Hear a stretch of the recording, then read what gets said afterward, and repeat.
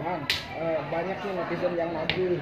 Apa? Abang, janji abang kata Malam ini? Hmm. Tonight. Oke, malam ini gua pasti akan pelontosin. Gua akan sisain 2-3 cm lah. Dua, tiga set. Dan ini perdana buat saya dan sejarah buat saya untuk pendekin rambut. Gitu. Dan itu najar saya dan itu harus dilakukan dan harus segera dilaksanakan. Nggak boleh ditunda-tunda. Setelah Kaniki pulang, nanti saya akan pelontosin. Itu artinya bukti eh, nazar yang akan dilakukan eh, Kak Haji untuk Nikita Mirzani ketika dia bebas ya. Iya, saya nazar kan mau potong kambing. Hmm. ya kan mau makan sama anak yatim sama potong rambut Kapan Eh, tuh terlaksana potong kambing?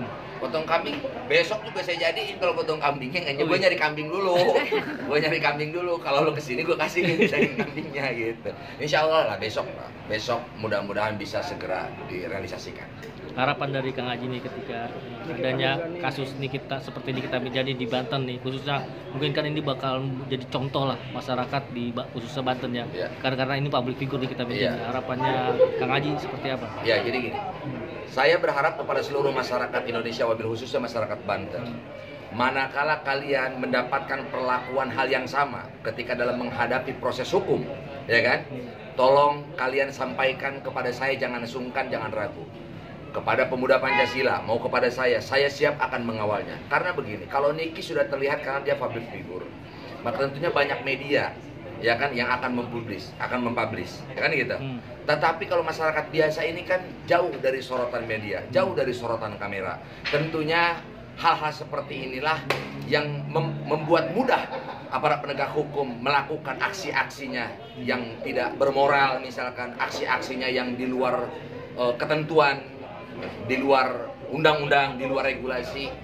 Nah, saya berharap masyarakat jangan sungkan untuk menceritakan, melaporkan, dan mengajak saya untuk me- melakukan pendampingan. Tidak jadi masalah. Saya punya tim pendampingan penyuluhan hukum dari pemuda Pancasila yang ganteng-ganteng, yang keren-keren, yang kece-kece. Ya, saya siap pasti bantu dan saya tidak pernah meminta biaya atau apa pun uang apa pun. Nggak usah khawatir, nggak usah takut. Insya Allah kita masih mampu kalau beli bensin, beli makan. Artinya siap untuk membantu khususnya eh, masyarakat Banten ya ketika Siap banyak dari dulu saya. Hmm. Kalau urusan pendampingan dari dulu saya udah sering. Udah kasus model kayak gimana? Mungkin masyarakat Banten yang udah nonton yang sudah dulu pernah saya keluarkan dari penjara, ketika di penjara saya dampingin ya. Banyak sekali masyarakat Banten. Bukan satu dua, Bang. Hmm. Saya dari Jakarta, dari mana, dari Bandung saya bebasin. Gitu. Jadi banyak. Saya bukan lawyer ya, tapi saya punya tim lawyer yang bisa membantu, yang bisa mendampingi. Gitu untuk bisa memberikan bantuan hukum, mengadvokasi gitu. Member- memberikan bantuan advokasi hukum. Gitu bisa. Siap. Bang ada harapan nggak bang? Ya, Ini kita kan udah bebas, ada harapan nggak dari abang? tadi saya sudah sampaikan bahwa tentunya harapannya adalah satu saya pengen Nikita betul-betul bisa lebih baik lagi ke depan Hmm. dan jangan pernah menemui kasus yang sama, hal yang sama. Tapi saya berharap juga dia tetap menjadi dirinya dia sendiri, tidak menjadi orang lain. Dia tetap konsisten menyuarakan kebenaran.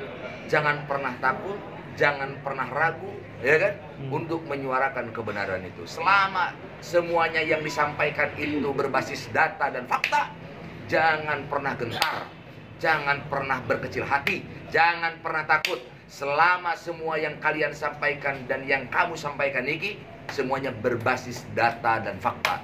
Jangan katanya. Ya, jangan katanya, jangan coba-coba. Itu berbahaya.